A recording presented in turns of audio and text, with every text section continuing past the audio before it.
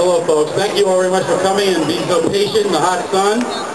Uh, we are very lucky today to have really one of the great scholars of the United States, Dr. Cornel West, with us. And, yeah, Occupy Washington, D.C. Occupy Wall Street, 1,000 cities in 82 countries. We on the move, y'all.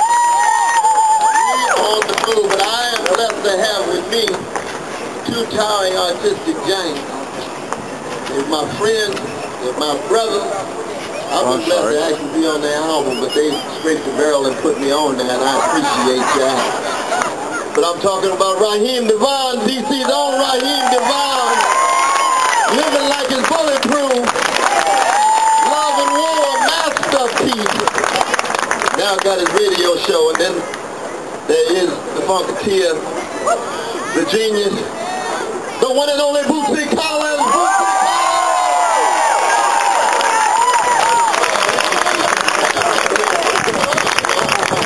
They wanted to be here because if you listen closely to their music, you'll see the relation between the funk and the struggle for justice, between the soul and the struggle for freedom. It goes hand in hand. Is that right, to y'all?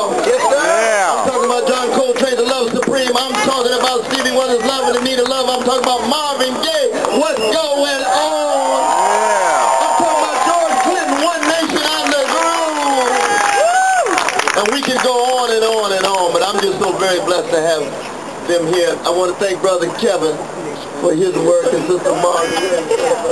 Brother Kevin and Sister Mark. Give him another hand. And a whole lot of other people. A whole lot of other collective and collaborative activities. Leader list and leader full. I like that, brother. Definitely. But I was thanking you for the introduction to them. you did introduce. But I want to salute each and every one of you all because you know that we are now in a new moment. Yeah! Oh yes, we're in a new moment. You see, the right-wing hegemony is slowly but surely passing away. Yeah! It's gonna be over. Fox News is gonna be over. Passing away. Oh yes, corporate greed is now exposed here and around the world. It's time for the greedy oligarchs and avaricious plutocrats to slowly pass away and allow those Sly Stone called everyday people to step forward. And anytime everyday people straighten their backs up, they're going somewhere because folk can't ride your back unless it's bent. Can't ride unless it's bent. And we talk about every color, every culture, every sexual orientation, every religion and non-religion. Yeah, we got atheistic brothers and sisters, agnostic brothers and sisters. We got prophetic Mormon brothers and sisters. Give the Mormons a hand when they prophetic. Want to talk about corporate greed. Want to talk about democratic accountability of oligarchs and plutocrats. But we want to make the intimate connection between corporate greed on Wall Street and corporate greed in the military industrial complex. With the war in Iraq, in Iraq, Afghanistan, with the dropping of the bombs on innocent folk. A mm, shame. Some more disgrace. We want to keep contact with the corporate greed in the prison industrial complex. The sister Michelle Alexander calls the new Jim Crow. We're having a major gathering on Friday in New York City where they have a stop and frisk policy. It's 600,000 young brothers of all colors between 18 and 26 are pulled over, but 83% are black and brown and only 1.8% are arrested. That's called police harassment. Yeah. It's called police surveillance, and we're not going to put up with it. We're not going to put up with it. And this Occupy movement is a holistic We're concerned about corporate greed in the corporate media complex. Yeah, where we get a truncated discourse between mean-spirited Republicans and spineless Democrats. Ah! We want to roll up the stuff. We want to begin with the poor children. 22% of our children of all colors living in poverty in the richest nation of the history of the world. That's a disgrace too. And 42% of our children of all colors living in or near poverty. They are 100% of the future. Occupy D.C., occupy Wall Street. We Yeah. too. That's why we're here. Concerned about the elderly, concerned about the widow, concerned about the stranger, the fatherless, the motherless, the poor, working people, gay brothers, lesbian sisters, the homeless, absolutely. Yes, a precious, precious homeland. We all inclusive too. If we keep track of every form of bigotry, we don't want any bigotry against our Jewish brothers and sisters, against our Arab brothers and sisters, against our Muslim brothers and sisters, against black folk, red folk, white folk. Yes, that's the kind of movement we're talking about. Yeah. Yeah. Yeah. Develop and present a voice and a challenge. And the mainstream media says, well, can you reduce it down to one or two demands? It. He said, we tired of your technocratic expectations. we don't have just one demand or two demands. We want a new world. We want what Martin Luther King Jr. called revolution. Oh yeah, that's what we want. Brother Martin meant what? Revolution and priorities. We got warped priorities. 1% of the population owned 40% of the wealth and income growth went to 100% of the top 10% in this nation. And 1% got 81% of all the income growth in 25 years. That's nothing but greed, squeezing working people, rendering poor people invisible. How long did they think we would put up with it? My God. We may have been born at night, but not last night. How long did they think we would be quiet? How long did they think we'd be complacent? How long did they think we'd be indifferent? No, new voices begin to come forward, and we should know.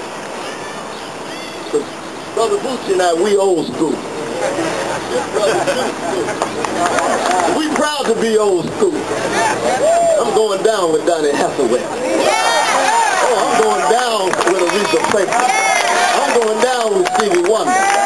That's just the kind of brother I am. I'm going down with Marvin Gaye and Luther Vandross. I'm going down with the Funkadelics and Parliament. That's the kind of brother I am. I love me some Carole King and James Taylor too. Oh, yeah. Go Pearl Jam too. But that's the new school. This is the young people expressing themselves in their own way. And we got to listen. Yeah.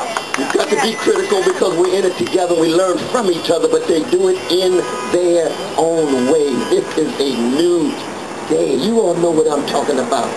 Isn't it beautiful to be part of a new day? To look around the world and say, those Sly Stone called everyday people are waking. Up. 43 years ago today, something happened in Mexico City.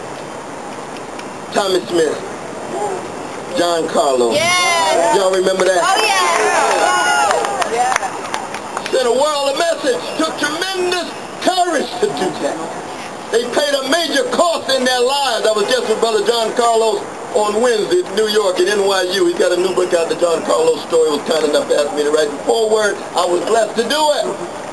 He tells a story about what he went through. And it reminds us, even as we are here coming together, finding joy as we revel in each other's humanity, there will be a cost that we'll have to pay. This is not a game. These major institutions around here have entrenched interests, and they're going to fight. They're going to lie. They're going to deceive. And maybe even some of us will have to die. That's all right. Because there's a brother named Martin Luther King Jr. who was memorialized today. And he had to die because he loved the people enough. Yeah. We love you. Yeah. He used to get up every morning and say, I got to put on my and be coffin ready for the struggle because the next wave of democratic battle going to have something to do with American imperial presences around the world. In his day, it was Vietnam. In our day, it's Afghanistan. And he was trying to bring together poor people of all colors. And anytime you really love poor people, you better be ready to die. Yeah. That's the kind of movement that we're talking about. Not for everybody, but at least that kind of spirit. And that's why the love is so crucial. This is a love movement. It's not about hating anybody. We hate injustice. We hate exploitation. We hate domination. Not about hating anybody. We love the children enough. We love working people enough. We love the sisters who are catching hell Yeah. enough. We love the world enough, not in the abstract, but in the concrete, to make the sacrifices you, are, you all have been making here, day in and day out. 16 years ago, Mr. Louis Farrakhan brought together one million chocolate brothers. One million. It's quite a day. A lot of it was misunderstood because he being so controversial. But it was very clear that he was telling them and us to straighten our backs up. You've been cannon fodder for the prison industrial complex too much. Yeah. Yeah. You got to grow, you got to mature. And down the line, you have got to coalesce with all of those who are struggling. That's a moment in the history, too. And we want to acknowledge that no matter how critical we are or ought to be in that regard.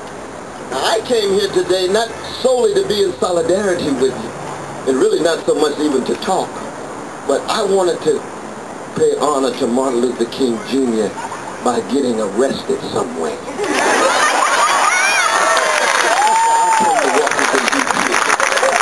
Oh yeah.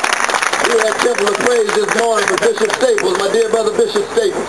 I wish you could have heard Bootsy Collins open his heart and talk about his life and the connection between the funk music and to get us to take off the mask and quit being so superficial and living on the surface and keep it real and free yourself. And when you free your mind, your something, something, something will follow.